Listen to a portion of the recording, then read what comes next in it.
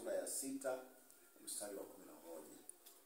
Lile la Zaburi linasema hivi: walipotaka akaleta pale, akawashibisha chakula cha mbinguni, akaufunua mwamba kububujika maji, yakapita pakavuni kama mto.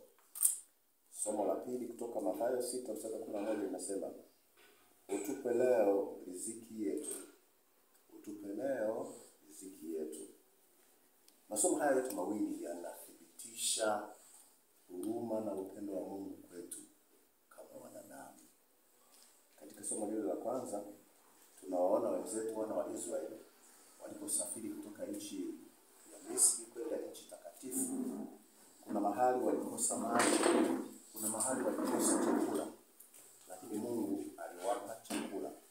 Mungu aliwapa maji kwa sababu ya upendo wa Mungu. Lakini somo la leo la la, la, la, la Mathayo sita kumi na moja inasema utupe leo riziki yetu. Na sisi pia tunamwomba Mungu atupe riziki zetu za kila siku, atupe mahitaji yetu ya kila siku, ikiwemo chakula na mahitaji mengine, kwa sababu pasipo Mungu sisi hatuwezi jambo lolote. Tunayaweza haya kwa sababu Mungu amefanya au Mungu amefanya. Tunashukuru pia hata kwa tukio hili la leo ambapo kuna vifaa vimeletwa mahali hapa ili kupewa ndugu zetu. Tunamshukuru Mungu kupitia kwa watu wake ambao wamekuwa na huruma kwa ajili ya hao wahitaji. Tunawashukuru sana.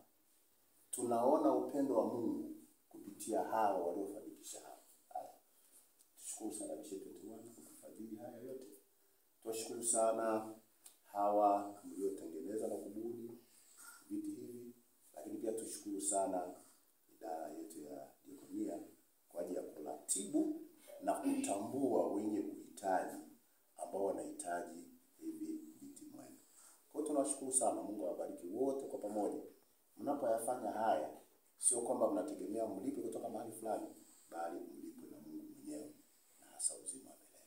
Na hii ndio huduma kweli ambayo Mungu anaipenda, tuwahudumie wale ambao ni wahitaji kwetu. Mungu awabariki ninyi nyote tangu sasa na hata milele. Amen. Amen. Ninafungua ninafungua uh, shughuli hii kwa jina la Mungu Baba na la Mwana na Roho Mtakatifu. Amen.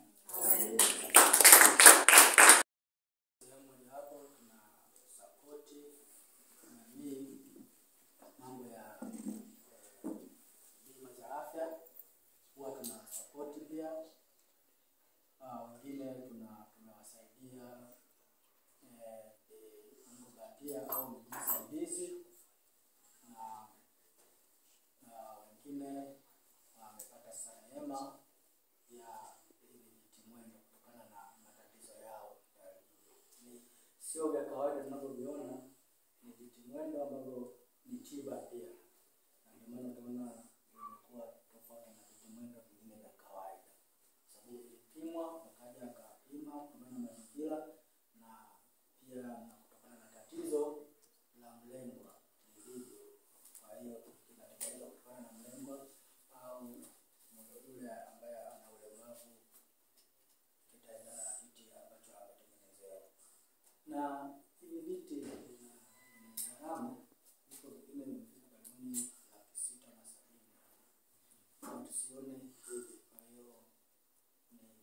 sana, tunatakiwa tuvitunze. Kwa hiyo msione tu kawaida kama hichi karibuni sita na lakini tunashukuru kiaro, yani inaonekana na